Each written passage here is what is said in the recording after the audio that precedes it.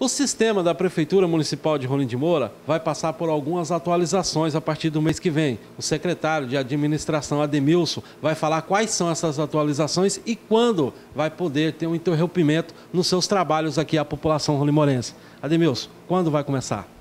Então, muito bom dia a todos. É, a informação que nós temos hoje da empresa vencedora do certame, que houve a licitação para eh, tratar do sistema de informática do município, eles nos pedem para fazer uma atualização, uma vez que a mesma é, foi a mesma empresa vencedora do certame.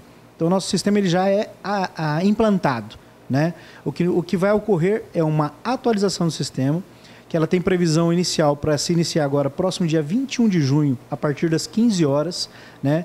e ele vai se estender durante a próxima semana, e tem uma previsão inicial de estar tudo normalizado a partir do dia 1 de julho de 2019, todos os nossos atendimentos já estarão é, em sua total normalidade. Por força de um decreto municipal, né, que já fez o nosso calendário anual, né, é, o prefeito entendeu bem trazer o feriado do dia 18 ao dia 21, porque no dia 20 já existe o feriado nacional, que é do Corpus Christi.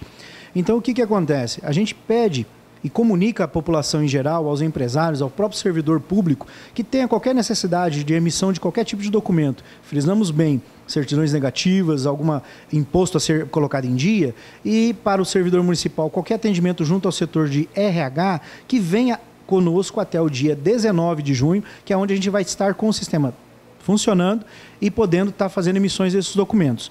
Depois disso, haverá o feriado do dia 20 dia 21. Retornaremos com os trabalhos a partir do dia 1 de julho.